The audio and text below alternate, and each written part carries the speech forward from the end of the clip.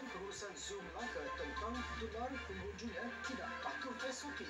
Jawapannya seketika nanti teruskan bersama